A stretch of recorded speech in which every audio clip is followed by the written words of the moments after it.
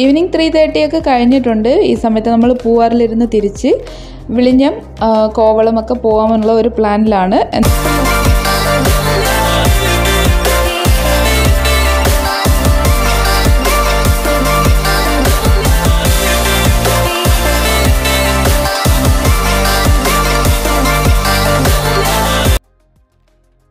ഹാർബറിൽ ഒരു പരിധിവരെ അവിടെ എത്താൻ പറ്റുള്ളൂ. ഉള്ളിലോട്ട് പോകാൻ പറ്റില്ല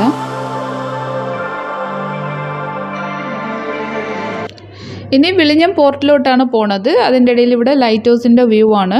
അഞ്ച് മണിക്ക് മുമ്പ് പോവുകയാണെങ്കിൽ നമുക്ക് അവിടെ ലൈറ്റ് ഹൗസിന്റെ മുകളിൽ കയറിയിട്ട് നമുക്ക് കാണാൻ പറ്റും.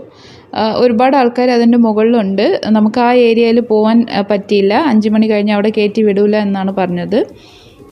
വിളിഞ്ഞം മൊയ്തീൻ ദർഹപ്പള്ളിയാണ് കാണുന്നത്.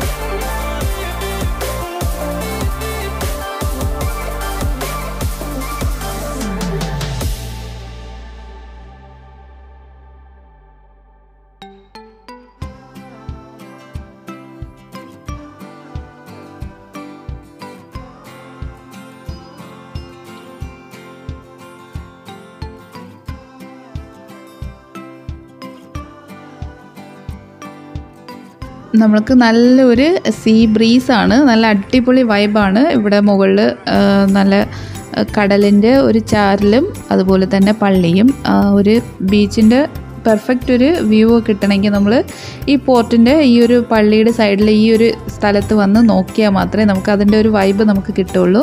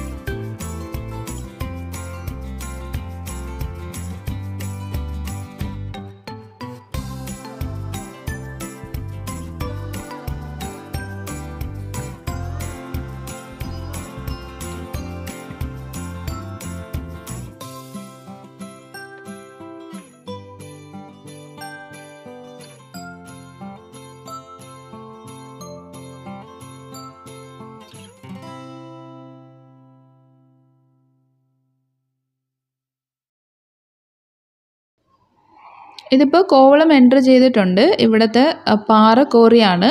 ഇത് എത്രയോ വർഷം കൊണ്ട് ഇതിലിരുന്ന് പാറകൾ പൊട്ടിച്ചെടുത്തതിന് ശേഷം അതിലോട്ട് പോണ്ടായിട്ട് കിടക്കുകയാണ് ഇതിൽ ഏഴടി തെങ്ങിന്റെ താഴ്ച ഉണ്ട് എന്നാണ് പറഞ്ഞത്. വളരെ ഡേഞ്ചറസുമാണ് പക്ഷെ കാണാൻ നല്ല ഭംഗിയുള്ള ഒരു സ്പോട്ടും കൂടിയാണ്. എന്തായാലും നല്ല ഒരു വ്യൂ പോയിന്റ് ആണ്. ഇവിടെ നിന്ന് നമുക്ക് ഫോട്ടോസ് എടുക്കാനും നല്ല പച്ചപ്പുള്ള ഒരു അടിപൊളി സ്ഥലമാണ്. കോളം എൻട്രി ചെയ്യണ ആ സ്ഥലത്താണ് ഇത് ഉള്ളത്.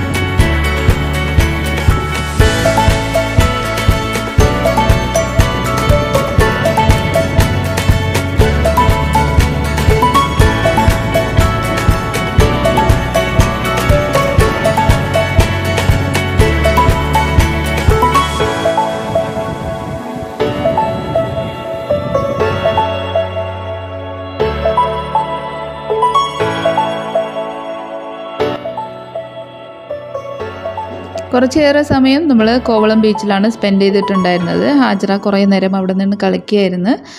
നമ്മൾ അവസാനം ബബിൾസൊക്കെ വാങ്ങിച്ചിട്ട് അതിന്റെ പിന്നിലായിരുന്നു അവൾ ഇത് ഇത്രയുമാണ് ഇന്നത്തെ വിശേഷം. എന്തായാലും ഈ ഒരു രണ്ട് ബ്ലോഗും നിങ്ങൾക്ക് ഇഷ്ടപ്പെട്ട് കാണുമെന്ന് വിചാരിക്കുന്നു. ഇഷ്ടപ്പെട്ടാൽ ലൈക്ക് ചെയ്യാനും മറ്റുള്ളവരെ കാണണമെന്ന് ആഗ്രഹിക്കുന്നുണ്ടെങ്കിൽ ഒന്ന് ഷെയർ ചെയ്ത് കൊടുക്കാനും വീഡിയോയുടെ അഭിപ്രായം കമന്റിലൂടെ അറിയിക്കാനും മറന്നു പോരുതേ. ആദ്യമായിട്ട് കാണുന്ന കൂട്ടുകാരുണ്ടെങ്കിൽ ഒന്ന് സബ്സ്ക്രൈബ് ചെയ്തിട്ട് നോക്കുക. അതിന്റെ അടുത്തിരിക്കുന്ന കുഞ്ഞു ബെല്ലൈക്കണിൽ ഓൾ എന്നുള്ള ഓപ്ഷനും കൂടി സെലക്ട് ചെയ്ത് വെക്കാൻ മറന്നു പോരുതേ. വീണ്ടും മറ്റൊരു നല്ലൊരു റെസിപ്പി വീഡിയോ ആയിട്ട് വരാം. അതുവരയ്ക്കും താങ്ക് യു അസ്സാം വലൈക്കും